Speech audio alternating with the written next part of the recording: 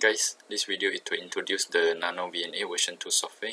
If you watched the previous video, the introduce of the hardware of the Nano VNA version 2. So this is the software after if you connect to the PC and then you want to use the software as a user interface in the PC. To download the software, you just go to the Nano VNA version 2 software, search from the Google and then you go to this website, official website, and then you can check here is like the, actually this is the Nano VNA version 2 without the casing okay where to buy it. And then yeah they also have like support forum or discussion. So this one is like support until 50 kilohertz and 3 until 3 gigahertz. Okay. Next will be you can check from here to download the software. So you can click on this. So they will go to the they will link out and then you can download the software here. This is the nano VNA software. So when you just load after you just click on it and then you download then they will pop it's, actually it's just like 18 mega. Once you have downloaded the software actually you no need to install it. So example of the software you just press like in here the nano VNA 2 release. You go to VNA Qt just just double click it so they will turn on the VNA software. So this is the VNA view. So we just zoom it maximize. So you can see from here they have like short open load and then and then the S11 here and then the S21 here. So the red color is S1 S21 and then the blue color is S11 so we can go for to the device and then we can search for the connect to our device. So let's turn on the VNA once you turn on the VNA they have like connected COM port here. Let's refresh. Yeah the COM6 here just click on it. So you can check actually the connections here. So now the VNA is uh, starting measuring. So you can change this one to S11 or this one to S21 yeah it's depend on your setting. So let's change back to default. So let's say when you want to change the frequency range you can go to the device sweep parameter. Here the start and stop frequency and the frequency point. So you can from here let's say we want like starting is 1 gigahertz so we put like 1000 megahertz here. And then for the stop frequency we can put like 3000 3 gigahertz. So the step point is size is 40 then we can tune the power output power as well. So let's say we make it default is like negative 15 dBm. Okay. So you can see the frequency is changing from 1 it's like 1 giga until 3 giga. That means like 1000 megahertz until 300 megahertz.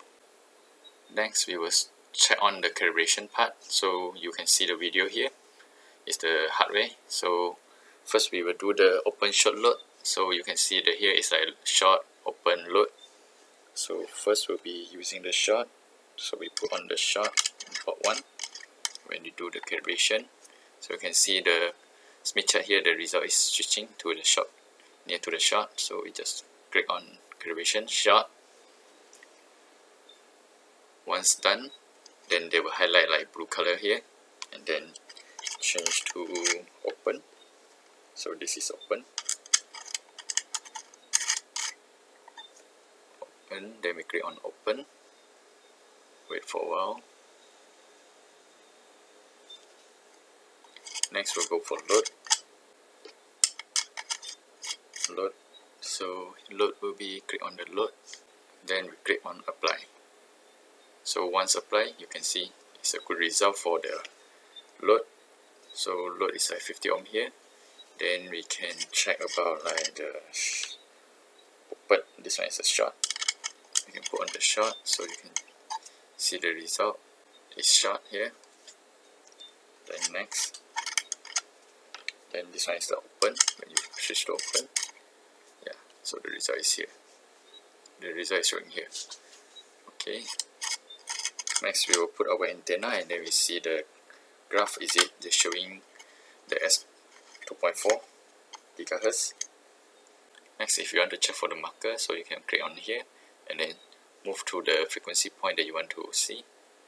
So you can check here it's like 2469 megahertz. It's like 2.47 gigahertz.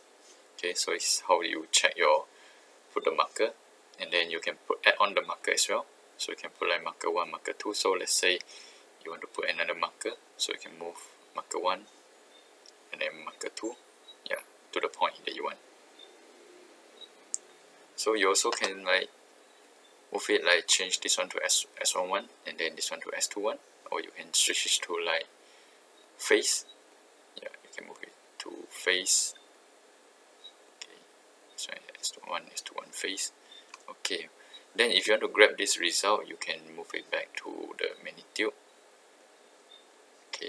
If you want to save the S parameter result of this you can go to S parameter export the S1P for port 1 okay then you can save it like testing 1 then we can go to go then we can go back to the folder and then view the result. So you can see the testing one is here. So we just turn on this testing so from the result you can see we have like S11 the megahertz the frequency and then the S parameter. So the S11 is here it's like 0 0.5 it that means this one is linear and then this one is phase is from 1 gigahertz until 3 gigahertz. Okay so this is the result. Yeah why we don't have S21 because we didn't calibration for we didn't calibrate for S21 and then we only calibrate for port 1 so they only export for